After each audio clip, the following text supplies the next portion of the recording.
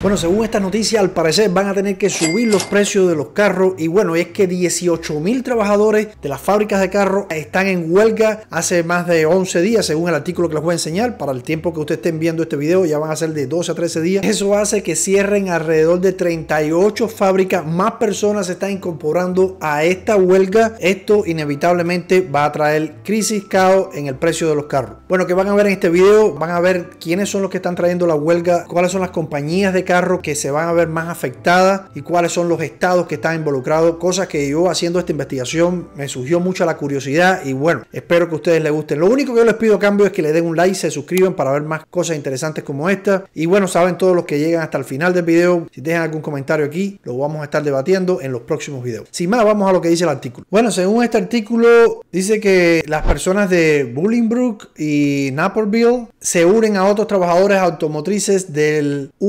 UAW en una huelga. Bueno, aquí también vamos a ver qué cosa es el UAW. So, aquí les dejo un poquito de qué dice CBS News Chicago sobre esta huelga. Auto workers say that they're not asking for anything out of line. They want their pensions back, including tiered wages, and they also want to bring back their cost of living allowance that they used to have. More than 18,000 auto workers are now on strike at Ford, GM, and Stellantis plants around the country. Bueno, según este artículo, los empleados de una de las tres plantas más gigantes que tienen los Estados Unidos de fabricantes de carros, como son la General Motors, la Ford y la Stellantis, están protestando es porque dice que en los últimos ocho años solamente han tenido un incremento de salario del 8%. Sin embargo, con el crecimiento de la inflación dice que van atrás un 21% que deberían haber crecido y están pidiendo un 20% de crecimiento del salario. Aunque también hay otras demandas de trabajar 32 horas a la semana y entre otras cosas. Ahora vamos a ver quién está organizando esta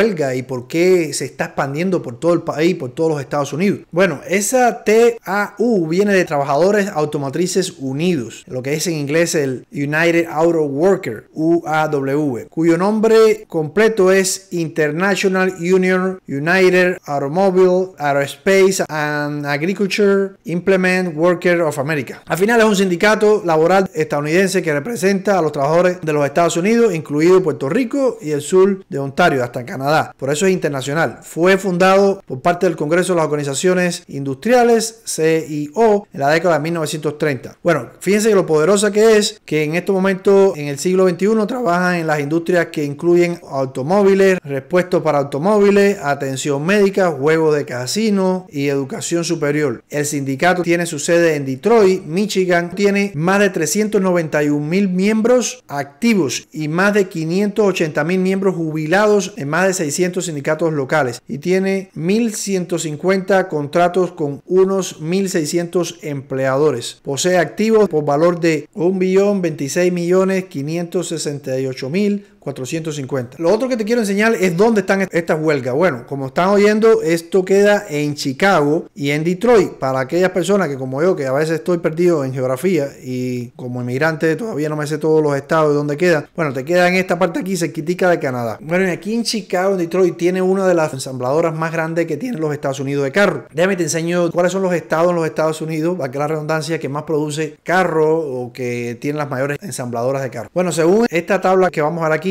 son las principales fabricantes y proveedores de automóviles destacados en Thomas. La primera es Tesla. Tesla está en Texas, ese es el de Elon Musk, y fue fundada en el 2003 y tiene más de mil trabajadores. General Motors es la segunda, esa está en Detroit, es donde se está haciendo la huelga, y fue fundada desde 1916 y tiene más de mil trabajadores. La tercera es Ford, otro de los principales protagonistas en esta huelga, que está en Michigan, está ahí desde 1903. Este tiene alrededor de 100 a 200 empleados solamente. También está la Nissan, que es en California, Toyota, que es en Texas, GMC está en Detroit, donde está la huelga desde 1911, tiene más de mil trabajadores. Bueno, paren ahí y para que vean todos los detalles de la tabla esta. Bueno, y tanto se está poniendo esto como que más malo cada día, que ya dice que el daño económico a la nación puede haber superado los 5 mil millones de dólares. Sugiere una investigación reciente. Dice que tanto el presidente Joe Biden como el expresidente Donald Trump visitarán Michigan en los próximos días. Claro, próximamente vienen elecciones. Quieren estar en la que se cayó. Dice que para General Motors y Stanley, una huelga prolongada en las plantas de distribución de repuestos podría significar una reducción significativa en las ganancias, escribieron los analistas del banco de O'Shea en una nota a los clientes el lunes. Los fabricantes de automóviles han aumentado sus inventarios de vehículos nuevos para capear el impulso inicial, pero eso cambiará con el tiempo. La huelga de este sindicato también puede afectar a proveedores comerciales y consumidores dependiendo de cuánto dure. Como ya les había dicho antes, los fabricantes de automóviles propusieron un aumento del 20% en cuatro años y medio, pero el sindicato busca un 36%, así como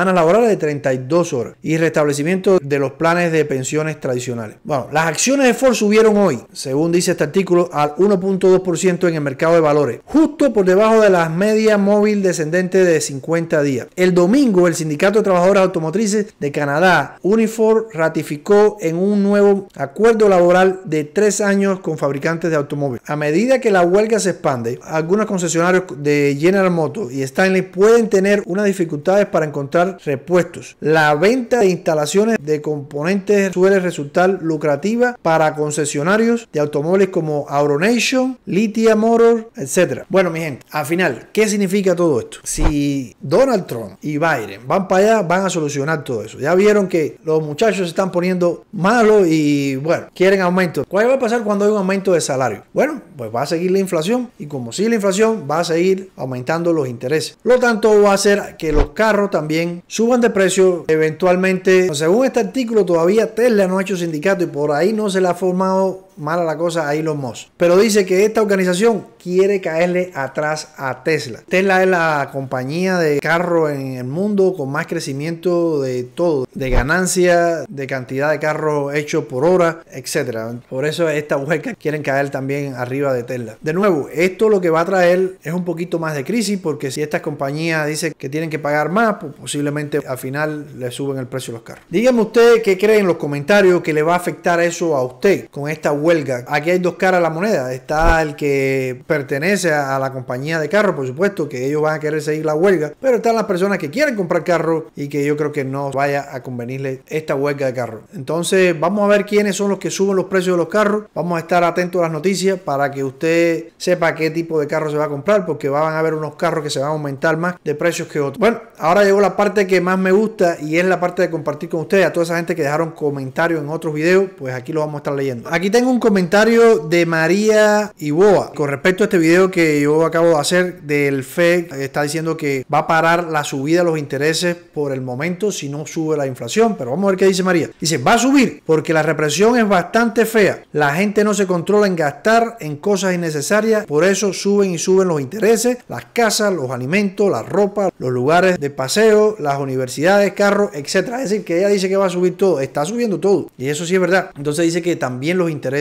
va a subir. Bueno, quién sabe, nadie tiene una bolita mágica, pero gracias por el comentario, por ahora te doy un like, un corazón y bueno, ahí te comento. Bueno, aquí tengo otro comentario de Gustavo Ávila, dice, probablemente no suba el interés, pero no creo que disminuya pronto. Sí, eso es lo que yo también creo, que va a estar mantenido en dependencia de cómo siga el tema de la inflación, pues posiblemente hay que estar al tanto de estas estadísticas de la inflación, si sube la inflación, pues posiblemente va a subir el interés. Por ahora, Gustavo, un like, un corazón y bueno, gracias por comentar. En el mismo video está Borges Diana Rosa, dice, con esta información ya sabemos que es el mejor momento para comprar casa. Gracias por este video, siempre nos estás ayudando. Oh, gracias a ti, Diana, y bueno, ojalá que te haya servido este video. Por ahora te digo, gracias por comentar. Bueno, esto ha sido todo por hoy. Nos vemos en un próximo video donde, bueno, voy a estar hablando de su comentario, así que siempre recuérdese de ponerlo ahí. Para aquellos que llegaron hasta el final, muchísimas gracias. Si no lo has dado un like y no se ha suscrito, hágalo ahora, ese es su momento. Mi nombre es Juan Carlos Carrera, soy real estate e ingeniero aquí en Las Vegas y estamos aquí para ayudarle en cualquier estado que usted esté si está pensando vender o comprar una casa. Nos vemos en un próximo video. Chao.